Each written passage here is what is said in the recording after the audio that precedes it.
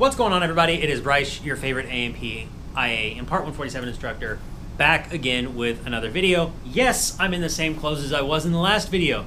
Not because I wore them again, but because I'm filming two videos in one day. Because my computer is here, not my computer, my camera is here. It is charged up all the way, so I might as well go ahead and shoot these two videos and maybe give myself a break next week. So, in this video, I'm answering one of the most common questions I get on my channel, which is, I'm a car mechanic. I'm a diesel mechanic. I'm a truck mechanic. Do you think aviation would be a good fit for me? So, to address that, and I'm, I'm probably not going to make this a very long video, but to address that, if you've already got mechanical skills and knowledge, you know how to turn a wrench, as they say, and you're working in automotive, you're working in diesel, you're whatever it is, right? And you want to become an aircraft mechanic, I would say this. If pursuing aviation is something you're passionate about, you already have the skills, the mechanical skills there, you're going to be successful in aviation. A lot of the stuff is very similar, a lot of the concepts are the same. A car's engine works the same as a motor, uh, not a motorcycle's engine. A car's engine works the same as an aircraft's engine, unless of course it is a jet. But still, those things are going to transfer over. That knowledge is transfer is going to transfer over, and there's going to be a lot of new information for you to learn. But ultimately, you're going to be okay because you have a lot of that base knowledge that can take a long time to build up. I have students here at the school who are fresh out of high school. They're 18, 19 years old. I even have some in high school, to be honest. Um, they're fresh out of high school. They're 18, 19 years old. They've never touched a wrench in their life if I give them a test on tools right now today, they would fail it. And we take people from not knowing anything about maintenance all the way through to the point of being an aircraft mechanic and being somewhat successful at it, right?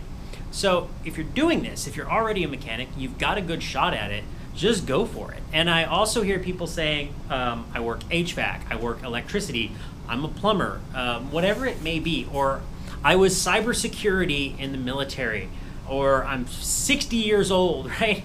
It's never too late to start aviation. If this is what you want to do, if you're passionate about it, I know I've made a couple videos like things that suck for aircraft mechanics, but if it's what you want to do, and if you're passionate about aviation and you've always wanted to work in airplanes, then do it. There is good, good money out there in the field. There is good benefits out there. There's also jobs with good time off. There's jobs that don't pay as much. It is such a broad industry, and there is so much you can do. If you want to work in an avionics back shop, which is kind of similar to what I'm in now, which is just an electrics room, you can work in an avionics back shop. If you want to work in an engine overhaul facility, you can do that. You can go work wherever you want to go. If you want to chase airline money and you want to make $40 to $60 an hour, you can do that too.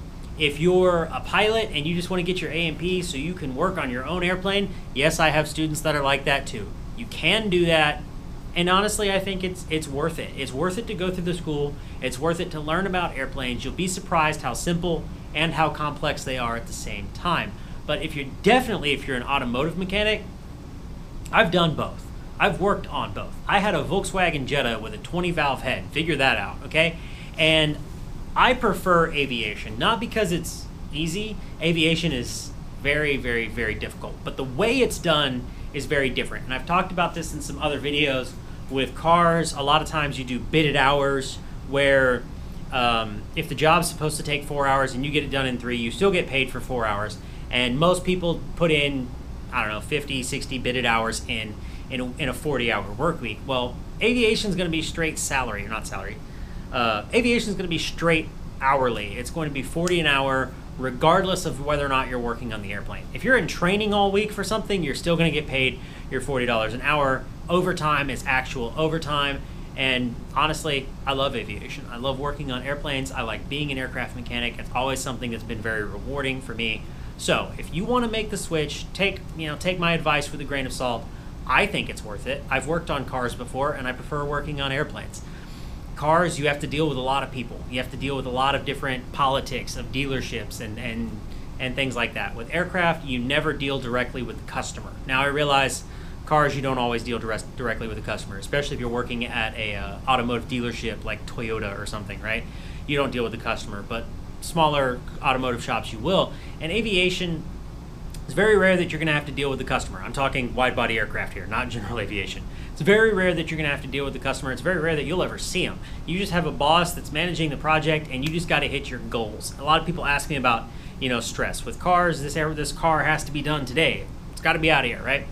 With airplanes, they're so large and there's so much to do that the project is six weeks, two months, three months, six months, a year, whatever it may be. And there's an entire team of people that are managing the project and setting the goals that we're going to hit throughout the project. So it's nowhere near as stressful day to day.